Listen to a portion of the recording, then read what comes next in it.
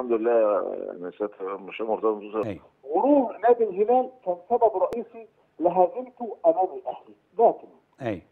عجبني قوي آه، في مباراة آه، الأهلي والهلال ظهور أحمد عبد القادر لاعب متميز لاعب حريف ممكن يعمل لك فارق وممكن يحل لك مشكلة اللاعب رقم 8 في منتخب مصر وده القطعة اللي محتاجها منتخب مصر. قصدك كمحور؟ قصد حضرتك كمحور ارتكاز هجومي؟ في صنع محور ارتكاز هجومي.